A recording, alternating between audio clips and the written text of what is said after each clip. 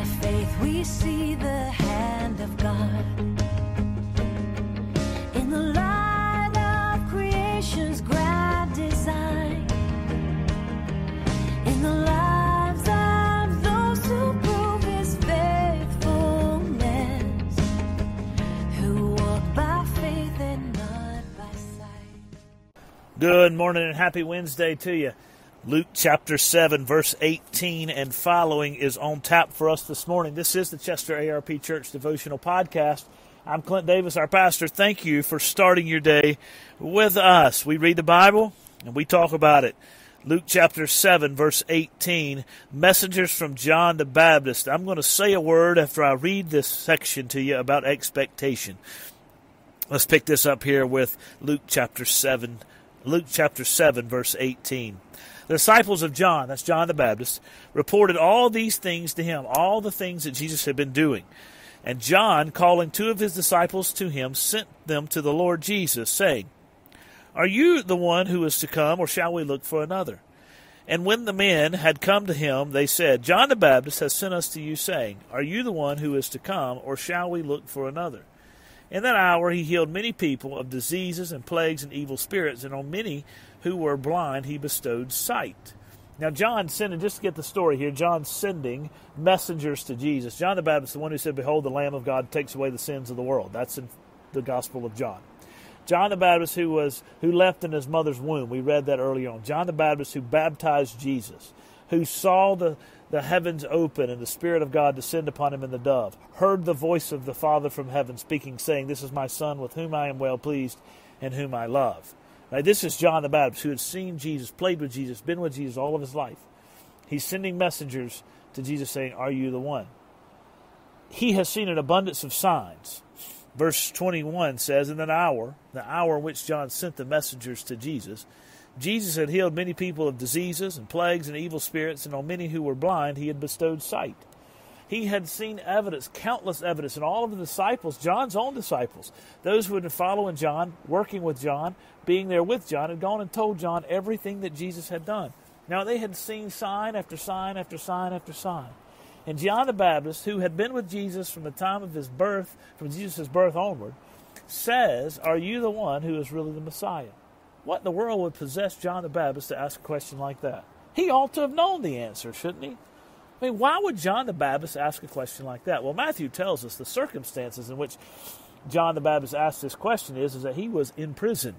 He is awaiting his own death. Uh, his head is going to be cut off. Uh, and so John the Baptist is in prison waiting on his own death, looking for someone to free him. John the Baptist had expectations of Jesus, that Jesus was going to come and free the Jewish people from the Roman government. That was John the Baptist's expectation. That was the disciples' expectation. That was everybody's expectation. And Jesus wasn't meeting those expectations the way that they thought they should be met. And therefore they were disappointed. Therefore they were concerned. And I think that's an important point. Whenever you are disappointed with Jesus, whenever you are disappointed with God, you need to check, first of all, what is your expectation? What are your expectations? Are they proper? Are your expectations biblical expectations of the kingdom of God and, and, and, and the Lord Jesus Christ?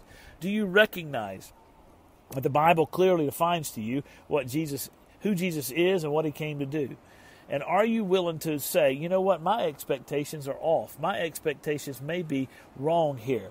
And my disappointment is not based upon Jesus' lack of performance or in the, the failure of Jesus in my life, but rather my disappointment may be focused and found in my expectations, my faulty expectations of Jesus. Often we hear people say this, and maybe we say it ourselves. Jesus didn't do something. I don't. I don't believe in a Jesus who will. I don't like a Jesus who does. And uh, Jesus is supposed to do this, or Jesus is supposed to be this in my life.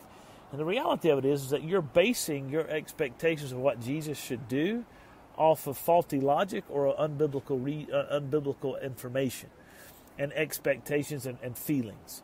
And so, what we need to do is we need to recognize that though things aren't going to always go our way, we need to recognize that Jesus is always going to meet the expectations the Bible set forth for, forth for him, and we have to trust him to be that God and believe in him and live with him and walk with him as he is, not as we think he should be. And that's the struggle with John the Baptist. And so Jesus' answer to him is simple here in verse 22. And he answered him, Go tell John what you have seen and heard. The blind receive their sight, the lame walk, lepers are cleansed, and the deaf hear. The dead are raised up, the poor have good news preached to them, and blessed is the one who is not offended by me. They go back and tell John, and then Jesus tells the crowd regarding John that John the Baptist is no greater man ever born than John the Baptist. But even John the Baptist was not sinless, and his expectation was a were, were his expectations were were not proper and not biblical because he was caught up in his own circumstances, and that in its very definition is sin. And yet, John the Baptist was the greatest man ever born of a woman besides Jesus, but he wasn't sinless. And Jesus is gracious and kind, and he reaches out and speaks to John the Baptist and says, Hey, listen, yes, I am the Messiah.